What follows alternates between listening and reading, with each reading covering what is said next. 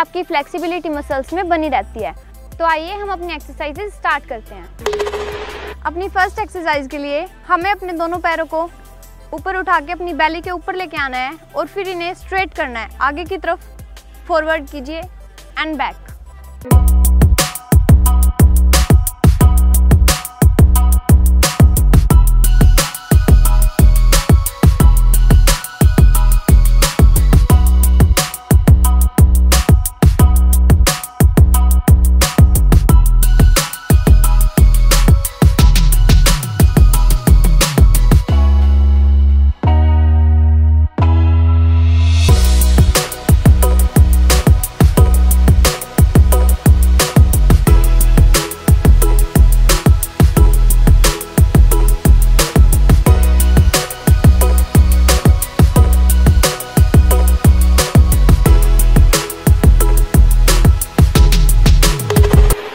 अब हम करते हैं अपनी second exercise which is heel touch उसके लिए आपको सीधे लेट जाना है।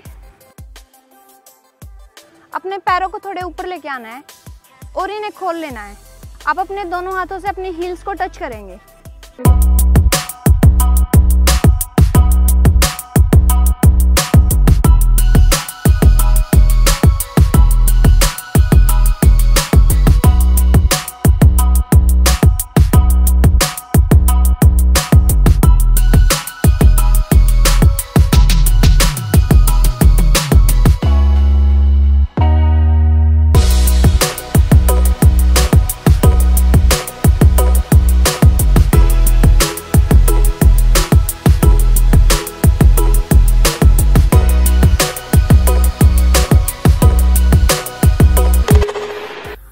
Next exercise is single leg jack knife इस एक्सरसाइज के लिए आप अपने दोनों हाथों को पीछे लेके जाएँगे।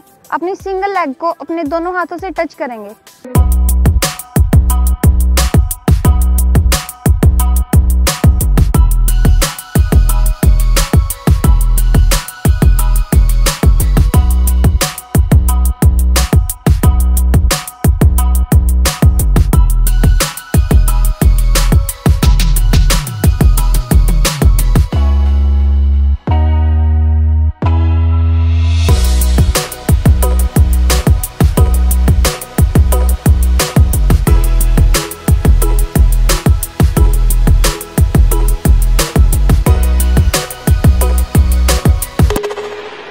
फ्रेंड्स जैसे कि आपने देखा, ये तीनों ही एक्सरसाइज बहुत ज़्यादा इजी हैं। इन्हें करने के बाद आपकी बेली एकदम शेप में आ जाएगी और आपका स्टमक एकदम फ्लैटन हो जाएगा। इन तीनों ही एक्सरसाइजेज के आपको 15 रैप्स एंड फोर सेट्स करने हैं। As you are a beginner आपको कम से कम इसके फोर सेट करने ही हैं। जैसे जैसे आपको टाइम होता जाए, वैसे वैसे आप अपने सेट्स और अपना टाइम बढ़ाते जाइए। आप देखेंगे, पंद्रह ही दिनों